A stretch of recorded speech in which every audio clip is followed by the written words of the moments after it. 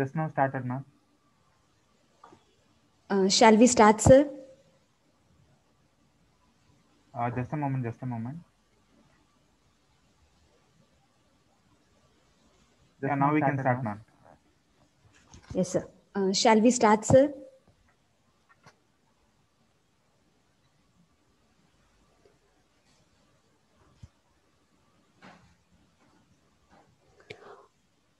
On behalf of the Department of ECE of Velalar College of Engineering and Technology, Erode, and Pantech Solutions, Chennai, we extend a warm and hearty welcome to one and all gathered here for this one day international virtual conference on SOC, a blooming technology for technocrats. Social distancing can keep us away physically, but nothing can stop us from coming together for the betterment of teaching and learning process. A true educator is the one who knows the way, goes the way, and shows the way. May we now invite Dr. M. Nisha Angelin, Professor and Head, Department of ECE, Velalar College of Engineering and Technology, to welcome the gathering. morning, one and all gathered in this online platform for one day international virtual conference on SOC, a blooming technology for technocrats organized by Velalar College of uh, Engineering and Technology, Erode, in association with Pantech Solutions, Chennai. At this juncture, I would record my deep sense of gratitude to the management of VCET for their encouragement and motivation to conduct such events. First, I would like to welcome Dr. M. Jayaraman, Principal, Velalar College of Engineering and Technology for this virtual conference. He has been a consistent source of support in all our endeavors and guides us in the right path. I would like to welcome Professor P. Jayachanda, Dean, Velalar College of Engineering and Technology, who has been a constant source of encouragement and care. We welcome you, sir. I would like to welcome Engineer Lakshmi Balakrishnan, Technical Program Manager, Apple Incorporation, California. We are indeed privileged and honored to have such an eminent speaker with us today. Thank you, ma'am, for accepting our invitation. I would like to welcome Dr. K.R. Valluvan, Professor and Controller of Examinations, Velalar College of Engineering and Technology for this online international conference. It gives me immense pleasure to welcome the technical speakers, the coordinators from VCET and Pantech Solutions, and all the participants who have joined us in this virtual mode from around the world. I hope that you will definitely get benefits from out of this conference. I would like to welcome my faculty colleagues and students for this international conference. Since the onset of this COVID pandemic, a massive change happening in the field of education the teaching learning process and knowledge transfer needs such virtual programs. We are indeed privileged and I would like to acknowledge uh, Pantech Solutions Chennai for joining with us in organizing this international conference. Thank you, Mr. Uh, M.R. Sendil Kumar, Director, Pantech Solutions, and his team for their generous support and cooperation.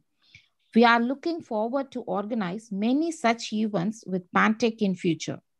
I would like to welcome one and all for this international conference. Thank you. Have a nice day. Thank you, ma'am. A great teacher builds character, inspires dreams, encourages creativity, instills a love of learning, and change our lives forever. With absolute pleasure, I would like to call upon the dynamic and dedicated Dean of our institution, Professor P. Jayachanda, to felicitate the gathering. Respected Secretary and Correspondent through SD Chandrasekhar, Velalar College of Engineering and Technology, respected Principal Dr. M. Jayaraman, respected Engineer M. R. Sendil Kumar, Director, Mrs. Pantech Solutions, distinguished chief guest of this conference and resource person, engineer Lakshmi Balakrishnan, technical program manager, Apple Incorporation, California, controller of examination, Dr. K.R. Valluvan, HOD, Dr. Nisha Angelin, program coordinators, resource persons, faculty members, participants, and my dear students. Good morning, everyone to present here via online mode. I am extremely happy to participate in this virtual international conference organized by Pantech Solutions in association with Velalar College of Engineering and Technology. Increasing integration of on-chip analog and digital features is uh, becoming a biggest challenge in the field of uh, SOC. SOC finds its application in computational intensive signal processors SOC can achieve low power, low cost implementation of a system. Um, students find job opportunities, including in the field of design, testing, and implementation of uh, system on chip. High throughput and compact products can be easily achieved using this SOC technology it is the right time to the students and staff members to get their knowledge updated in this field. Pantech Solutions is helping us by organizing workshops and conferences for the benefit of our students. And we are very much uh, thankful to them for their excellent support. Today, we have eminent resource persons from Pantech and Apple along with our professors. I request the participants to make use of this opportunity during this pandemic. I congratulate the organizers and wish this program to be a grand success. Thank you one and all. Have a nice day. Thank you, sir. Without any further ado, let me introduce the chief guest. I take privilege in welcoming Engineer Lakshmi Balakrishnan, Technical Program Manager, Apple, California.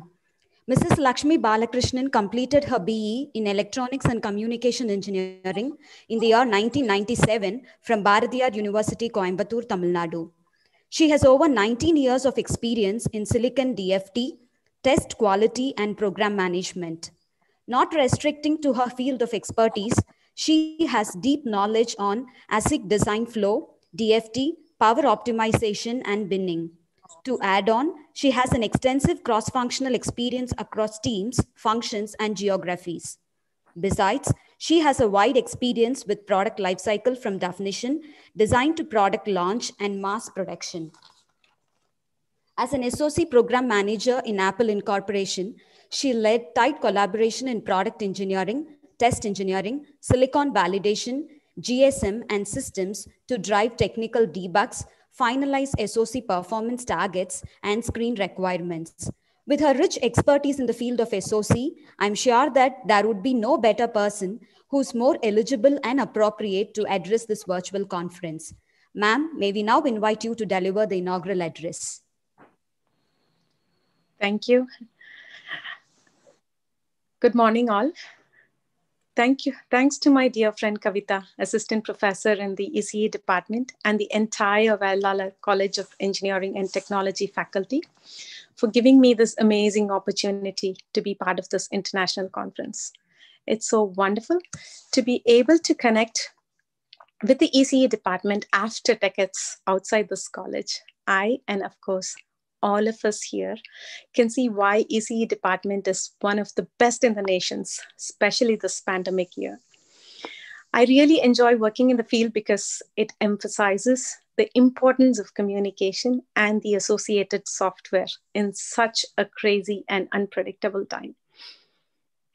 When the whole world has been on hold, it's been this electronic devices that's helped us move forward. When I started 20 years ago, I never imagined the world in such a position. So uh, I'm now able to speak to my family and friends on a daily basis, you know, while being 100 miles away through WhatsApp, Zoom, uh, WebEx, name it, and also effectively work and contribute in my current role.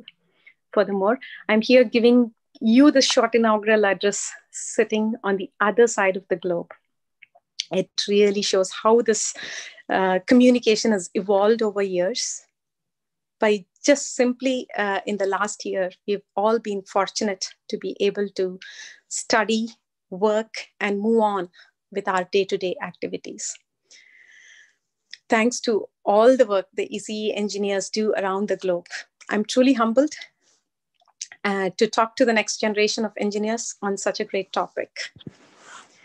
SOC, System on Chip. What is an SOC?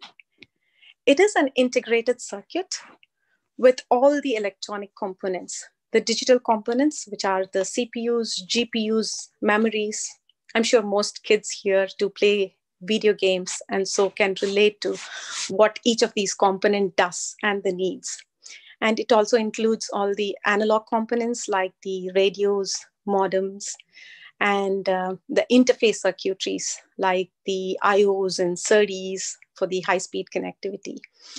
Uh, that is required to implement a system on chip. Uh, first, I mean, first and foremost, right, from where and how have we evolved? Uh, the traditional uh, motherboard um, based the PC architecture, they had separate components based on functions, collecting all of these functions through a centralized circuit board. What SOC has done, it's integrated all of these components into a single integrated circuit. So what does it have? It has a hardware functional unit, which includes um, a microprocessor that can run your software codes, as well as a communication subsystem that can control, that can direct, and that can also interface all these functional modules. So what and uh, what have we achieved with this tightly integrated uh, uh, designs? We have achieved performance, we've achieved power consumption, and most of all, area, be it it's used in the big mobile computing space or in the embedded systems. So SOCs can be fabricated by several technologies, including a full custom ASIC, a standard cell ASIC, or an FPGA, the field programmable gate array. So I started working on the 130 nanometer devices, which are the MOSFET uh, semiconductor process technology in uh, 2001 as a DFT engineer. DFT stands for Design for Test which includes adding logic to structurally test all the transistors in the design. I've worked through uh, several networking devices, including switches, routers, Ethernet PHYs, to consumer products like phones, pads, and Macs over the last 20 years. And here we are now in 2020s, working on a three and a two nanometer FinFET process technology. So FinFET came into existence since the 32 nanometer tech node. And FinFET is again a simple MOSFET. It is set up differently and has a better control on the flow of electrons from the source to drain. There are several advantages over the MOSFET technology, which includes higher performance, a reduced area, lower power consumptions, and being able to operate at lower VT and um, uh, higher frequency, etc., etc. right? The main disadvantage I could think of is the cost of building this FinFET. And as tech nodes have shrinked, been a lot of challenges achieving all the performances and the lower power. So a lot of uh, stuff, a lot of fun stuff and challenges in the field um, in terms of building these FinFETs uh, in front of you budding engineers to take on and work. And I also saw some good papers detailing the gist of whatever I spoke from great professors and professionals working in the field. I am excited. I'm also looking forward, and I'm sure all of you are.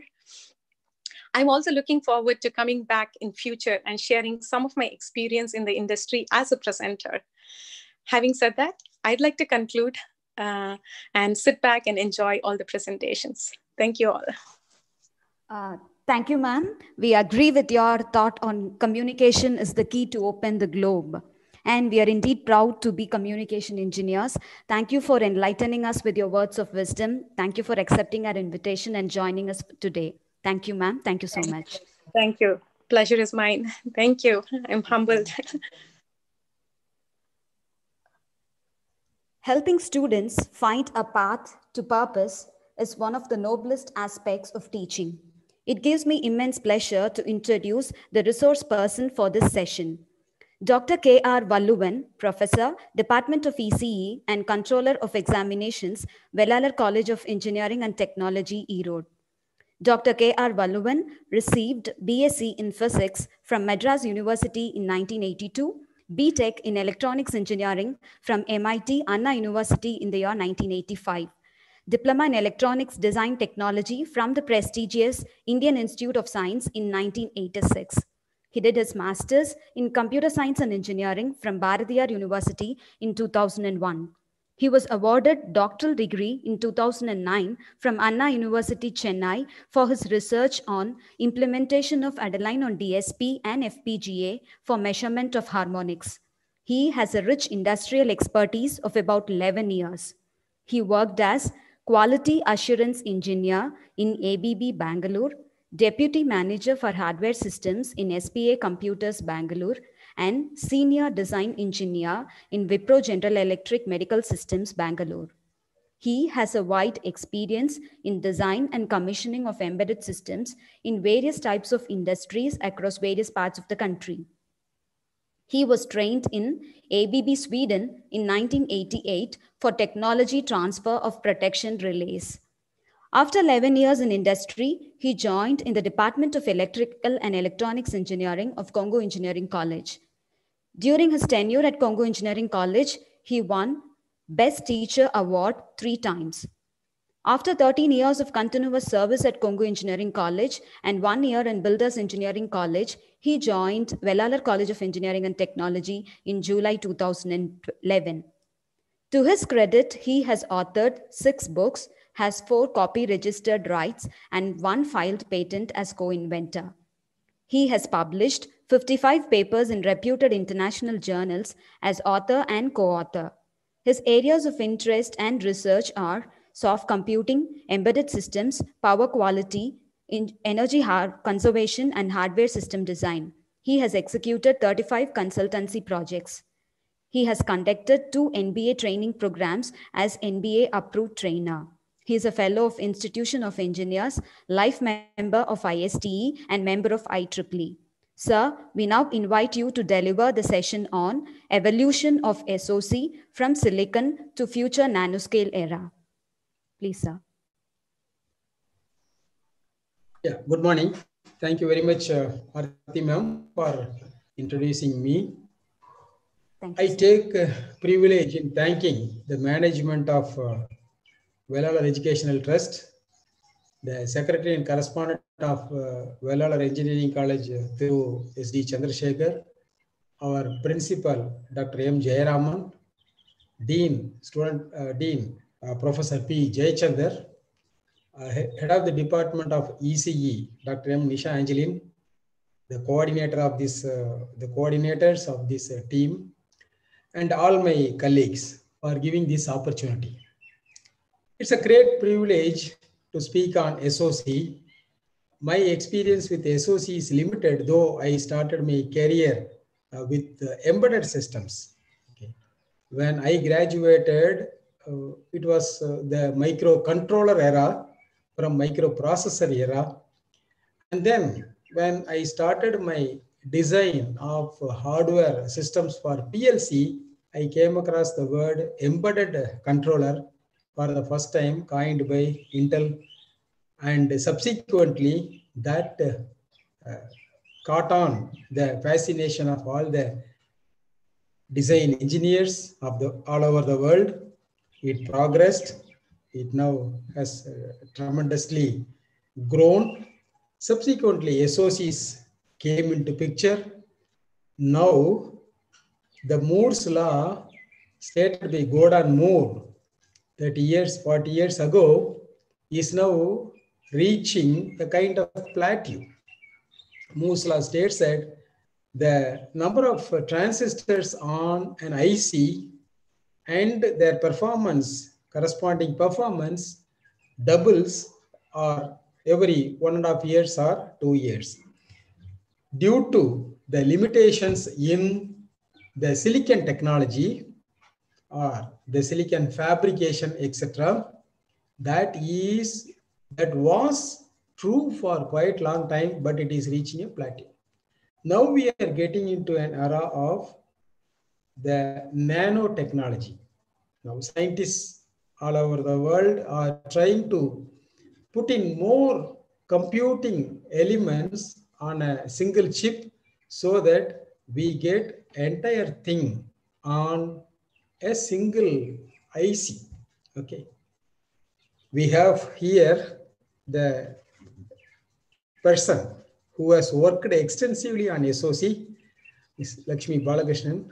At the same time, we also have the budding engineers to whom I would place my request to learn the concepts of electronics as much as possible and get diversified into various areas. SOC is one such promising arena. So with this uh, background, I will give my presentation, which is a potpourri of various materials I collected from the internet, with which I would like to draw the whole gamut of silicon to nano scale SOCs. What are the technologies? What are the challenges? What are the application areas? At this juncture, I would also like to point out that though COVID 19 has put the entire world under great stress, people have been telling the world economy has come down by several factors due to this COVID pandemic, which put many countries, the whole countries, under lockdown. But at the same time, as pointed out by our uh, chief uh, of this function, the Uh, Lakshmi Balakrishnan and our dean, this also has opened up a lot of promising areas of getting the people's knowledge spread by the, the communication which has skyrocketed. Okay.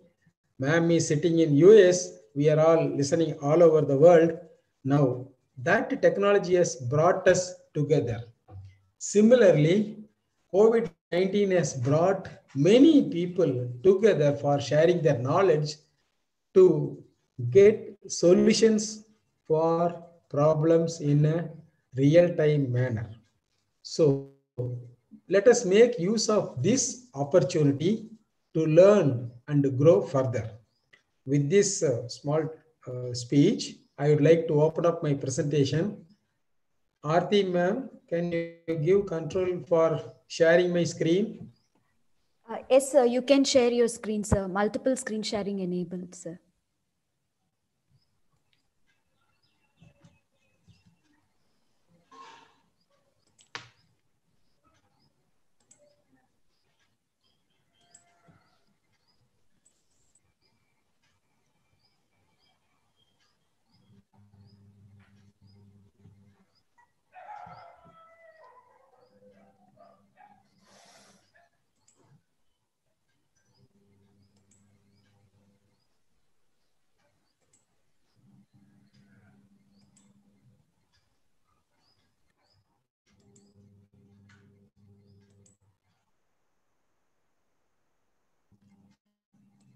I hope this screen is visible now.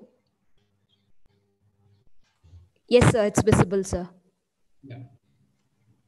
So this brief, other experts will continue with their detailed uh, speeches later. This small presentation is about evolution of SOC from silicon to future nanoscale era. As uh, our chief guest today pointed out, SOC, the popular term for system on a chip, is an IC that integrates multiple components of a system onto a single chip.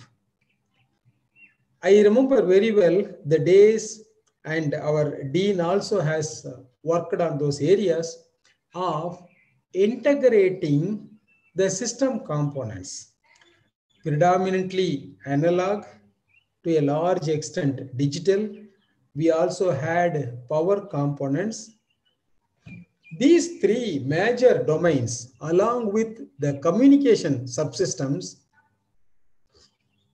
they belonged to, I used the word belonged because nowadays it is, uh, they are all converging. They belonged to different fabrication techniques, different uh, levels of integration. It was very difficult to integrate analog components onto a digital platform. The, when analog to digi digital converters were introduced, IC ADCs were introduced, they were a great achievement because that was the first time an analog component was merged into a digital uh, component on the same IC platform. But today, that is a child's play. Today, the SOC requires or something has been already uh, achieved. It has standard functions as we can see in the top right hand, bus compatible peripherals, technology specific memory components, microprocessor core. This could be microprocessor, microcontroller, or digital signal processors, etc. Silicon vendor components, third-party peripherals, custom memories, and legacy components can be all interfaced with a system on chip, which has a core, legacy core, user-defined core, DSP core, third-party core, memory array, CPU core, etc., etc. Though it would be little difficult for you to understand at this third year, final year of uh, graduate program, you will later on realize that putting them on on the single substrate is a tough task for fab engineers. Integrating them on a single IC die is always a challenge. From the Gordon Moore years era, we have now passed 48 years of microprocessor uh, technology, starting from 1970, when Intel made the first viable microprocessor, Intel 4004, then subsequently 404040, then 8080, 8085, and now we have a plethora of microcontrollers, microprocessors, DSPs, and etc. Now they are all small components compared to today's FPGAs and ASICs.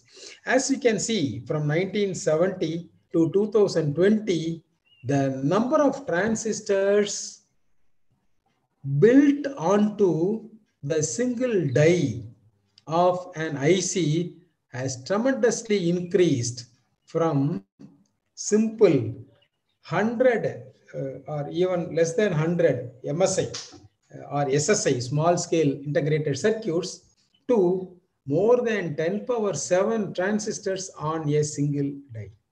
That means the size of the transistors have shrunk to a large extent. The interconnections have been optimized. The tracks and the pads have been optimized. The working frequency, as we can see here in the graph here, the frequency on the y-axis has also increased tremendously from a few megahertz to several gigahertz. Okay, that is the kind of growth what has been achieved in electronics. This figure is a kind of easy to understand figure. Today, yes, complete board of electronic components have been shrunk and filtered as a single IC which can be held on, on, on a palm, a human palm. So the evolution has crossed several generations, IP-based designs, platform-based designs, And the challenges which were faced by the engineers were hardware software co-design. Earlier, hardware was designed separately. Software was written by some other engineers. Closer to the end of the project, both of them will be merged. But today, the concept has changed. Co-design. That means from day one, both the hardware and the software teams start the design work and then they progress on the design work concurrently. Thereby, at every level, the compromises, if at all we call it them as a compromise, or more uh, in a uh, traditional way, trade-offs have been have been implemented at every stage of the design. So today the mantra is hardware software co-design. I very well remember as a design engineer when I started working on a microcontroller board based on 80188 microcontroller, embedded controller, I designed the complete board around 80188 with a lot of uh, memory, both RAM and read-only memory ROM, and the peripherals, peripherals for I/O interface, peripherals for communication devices, peripherals for analog interfacing. All of them were put on a single board, a single motherboard for 3U size, and then I gave the board to the software team. Then software team started working on that interfacing. But that took us a lot of time because of various delays. Today, people work on co-design concepts. So that is a real challenge. Now, hardware is not complete. So how do we write software for that? Software is not complete. How do we uh, design this software for that? So these are the questions, challenges. Integration of analog IPs, analog components.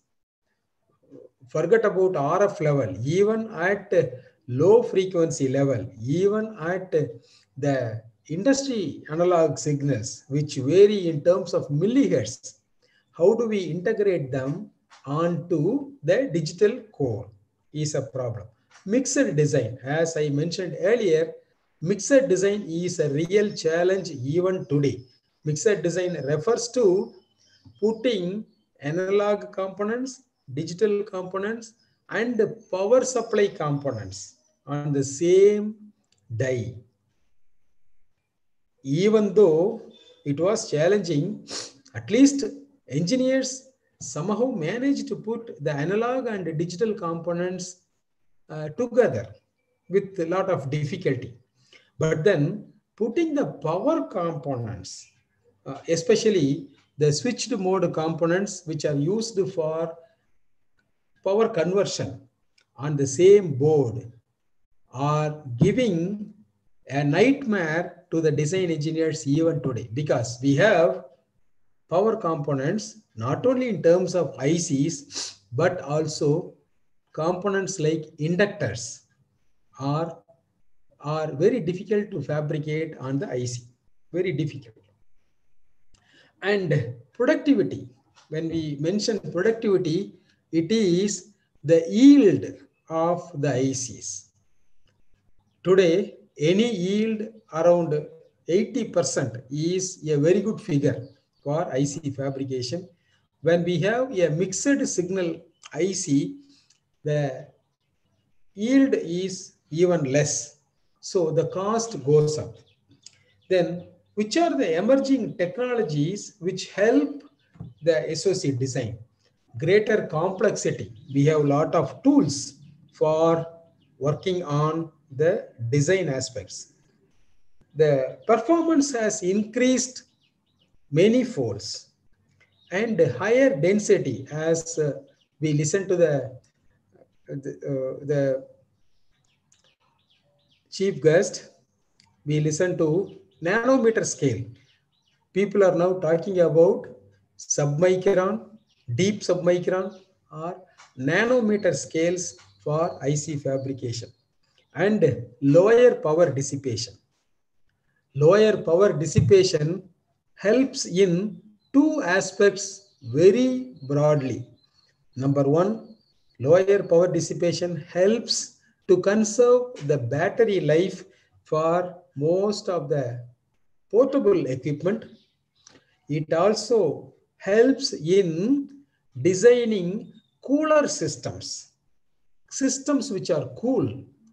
Now, do you remember? Most of the students will remember about a few years back, we had all our computer centers air conditioned because each uh, computer was dissipating about 150 watt of active power in terms of thermal dissipation. Today, we have desktop computers working like a laptop, very cool. Okay. So lower power dissipation helps in fabricating more SOCs. What is system on chip? SOC is more of a system than just a chip, we can say. In addition to the integrated circuit, SOC also consists of software and interconnection structure for integration. SOC consists of all or some of the following processor, CPU cores that can include DSP cores also, on-chip interconnection, buses, networks, etc. Analog circuits for performing various analog functions like A to D converter, D to A converter, etc. on one part. Uh, also the, the communication components. Accelerators are application-specific hardware modules like GPU, graphical processor units, or numeric processors. We had earlier numeric co-processors. So these are all application-specific hardware modules. ASICs, application-specific integrated circuits, softwares, operating system, the application software, etc., can be built as a part of SOC. Firmware, not only the software, even the firmware, which is required for a particular operation, like for a, for a mobile phone, the complete firmware for the entire operation of a mobile phone can be built on the SOC. For a digital camera, the complete function of image processing can be built as a firmware on the SOC. All these things are put on an SOC. On-chip components are fabricated in a processor or a multiple processors, including DSPs, microprocessors, and microcontrollers. Cores, IP cores. You will learn more in the later years. On-chip memory, accelerators, peripherals, etc. Peripherals meaning USB, ETH, etc. PLLs, phase lock loops, power management system. All these cores can be built on the SOC. The evolution of SOCs from silicon, from the first generation chips, which contained 10 ICs. Today, silicon technology allows to build chips consisting of hundreds of millions of transistors. For example, Intel Pentium 4, which is fabricated on 0.09 micron, has so many transistors on the die. This technology has enabled new levels of system integration onto a single chip.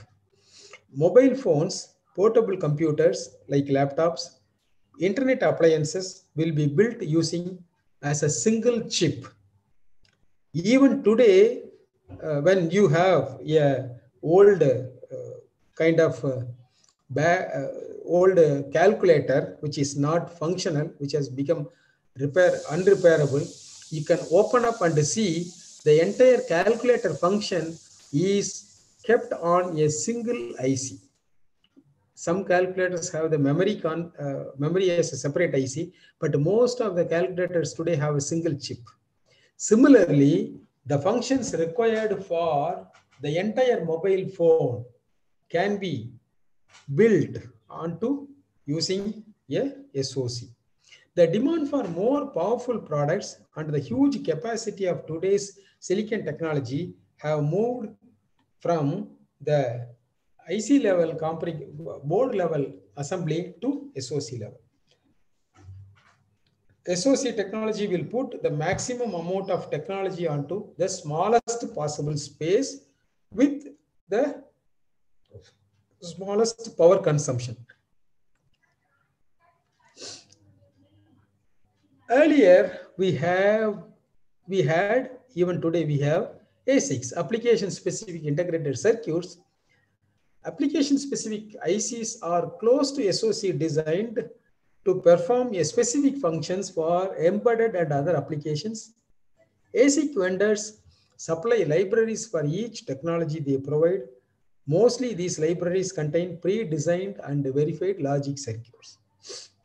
Whereas an SOC is an IC designed by combining multiple standalone VLSI designs to provide functional IC for an application. It is made up of pre-designed models of complex functions. For example, cores, IP block, virtual components, etc. that serve various applications. The ASIC design flow is illustrated here so we have a long design flow starting from top level design, then going to unit block design, then unit block verification, integration synthesis, and we generate netlist, system level verification, etc., etc. And then finally, which brings out an application specific IC. So we have a large time between the conceptualization, between the starting point to the time when we bring out the ASIC to the market. It's, it's normally more than 52 weeks, that is more than an year, provided we have all the individual blocks, the IP cores, the libraries in our hands. System on design chip, system on chip design flow is also similar to that but then we can say specify the uh, specifications of the chip architect, find out the cost and performance effective architecture to implement it. Which existing components can we adopt and reuse? Reusability and modularity of hardware IP cores is the topic of the day cores can be reused. Cores once designed can be reused in several models. So they can be reused. Evaluate what is the performance impact of a cheaper architecture. Evaluating different performances. Then implement what can we generate automatically from libraries and customization. And then use different computation methods, different communication methods, and then bring a SOC. The ASIC design flow, as I uh, mentioned earlier, comprises of all these steps. And the migration from ASICs to SOCs started in the mid 90s. In the mid 90s, ASIC technology evolved from a chipset philosophy to an embedded core based system on chip concept. I remember very well, I used a three chipset computer motherboard the entire motherboard, which was earlier had, which had about 120 ICs, was reduced to a single set of ICs with three ICs only. So that was called a chipset. Each chip had integrated several functions and the three chips together, they made up the entire computer. So that further, uh, you know, got shrunk to become SOC. And SOC is an IC designed by stitching together multiple standalone VLSI designs to provide full functionality for an application. An SOC composed of pre-designed models of complex functions known as cores, IP cores. Okay.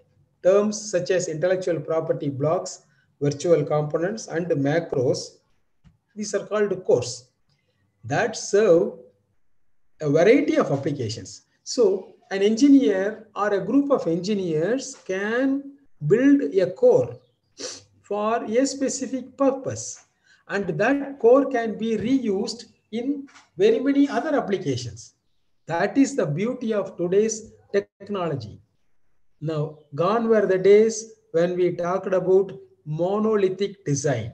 Monolithic design means the entire design team designed a particular product right from one starting point and then they designed every one together. Every one of the ics together to become a monolithic structure. You cannot uh, take them apart. Whereas today it is the modular structure or modular uh, assembly each one is devised as a module and then modules are brought together, assembled together. There are predominantly three forms of SOC design. One is ASIC vendor design. The second one is integrated design. And the third one is desktop design. What are the SOC design challenges? Why does it take longer to design SOCs compared to traditional ASICs? We must examine the factors influencing the degree of difficulty and turnaround time. The time taken for gate level netlist to metal mask ready stage for designing ASICs and SOCs. For an ASIC, factors which affect TAT or the turnaround time are frequency of the design, number of clock domains, number of gates, density, and number of blocks and subblocks. Whereas factor influences TAT for SOC is system integration, that is integrating different silicon IPs on the same IC. Now there is a huge difference between these two design flows. The ASIC design flow is relatively simpler compared to the for a SOC.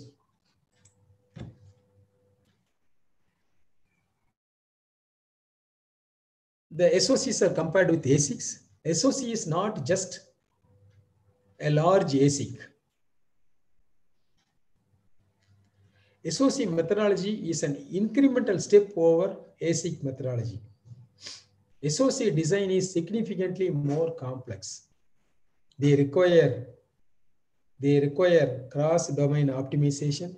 IP reuse and platform-based design is not enough to bring out an SOC. Even with extensive IP reuse, many of the ASICs design problems remain. Productivity increase far from closing design. The associate design flow is shown here from the top level design, unit block design, unit block verification, integration, trial netlist, timing convergence and verification, system level verification, fabrication, DVT, etc. So we can see a large time frame for doing this design. As I indicated, this is another version of SOC. You can simply see this CPU and DSP. This is uh, a major revolution. The CPU along with the DSP on the same core to increase the, the data transfer or increase the throughput. And you have the MPEG core, the GPU, graphical processor unit, and analog RF. So as we can see here, this SOC contains a mixture of very many different technologies. This CPU, which is predominantly a, a digital circuit, is only for number crunch, uh, for, for flow oriented instructions. Whereas the DSP is predominantly for number crunching. That means it has to execute many MAC operations, MAC, MAC, multiply and accumulate operations, which requires a large memory and a large structure for execution.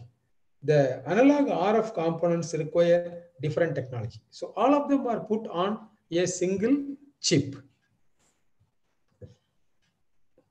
This is another uh, structural uh, figures for SOC. You, can, you have the cache memory also, L2 cache memory also as part of the uh, chip. So you can see here a mixture of components here. The communication link, which is by far the difficult task, is also here. And a computation block with a lot of uh, DSP activities. What are the advantages of SOC? SOCs offer lower cost per gate, lower power consumption, faster circuit operation, more reliable implementation, smaller size, physical size, greater design security, cheaper compared to assembly of off-the-shelf components. What are the drawbacks of SOC? The principal drawbacks of SOC design are associated with the design pressures imposed on today's engineers, such as time to market demands. Every company is running short of time. They want their product to come to the market first so that they establish the lead. Exponential fabrication cost. Fabrication cost increases exponentially. Increased system complexity. More and more complex systems are wanted on SOC. Increased verification requirements because the, uh, the, the, the mantra today is fit and forget or design and use it till the lifetime. There is no such thing as the verification by the customer end. Verification is done by the designer himself or herself. Based on this SOC, of course, nanoscience and nanotechnology evolved in a different domain in which started from 1959 richard feynman said there is plenty of room at the bottom means what there is plenty of room at the atomic level.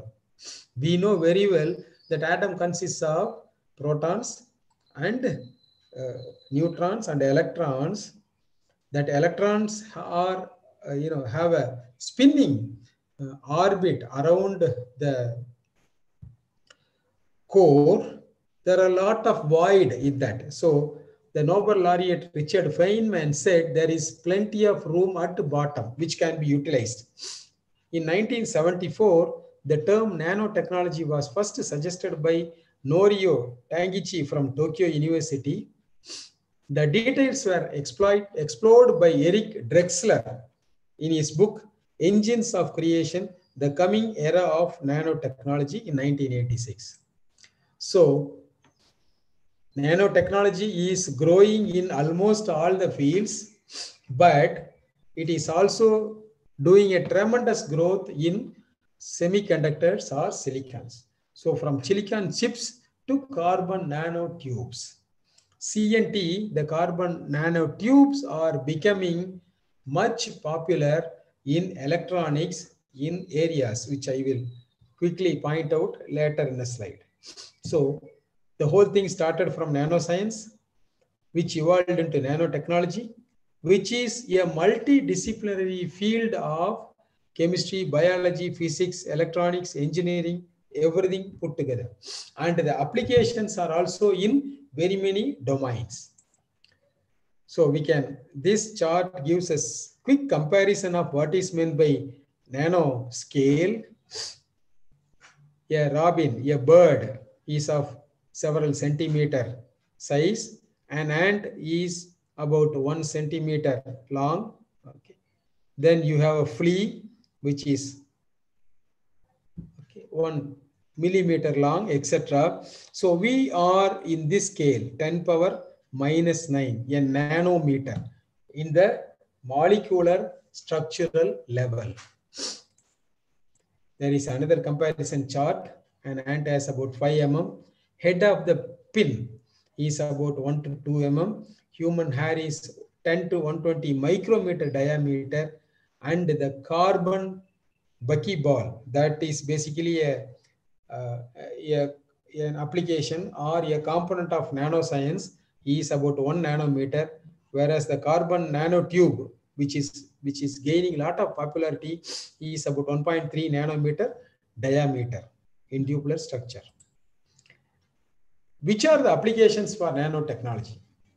There are very many applications, but then I just took a few of them. Drug delivery at the point of disease, nanofilms, nanoscale transistors in electronics, water filtration techniques, space applications, apparels, clothes have been made out of nano-wound materials. I saw in an article that a sports cycle, Uh, the brand name is BMC SLC, SLC01, it is a complete bicycle which weighs only 7.07 kilograms of weight, which is made up of carbon nanotube technology. In another article I read, a Boeing 787, an aircraft, a latest design aircraft, uses 50% of carbon composite materials. In electronics, the potential uses of carbon nanotubes are batteries, solar cells, nano electronics, and interconnects. There is a long way to go from SOC to the nanoscience uh, area, nanotechnology area, which will bring in many possibilities, smaller, lesser power consumption, more powerful, more feature performance.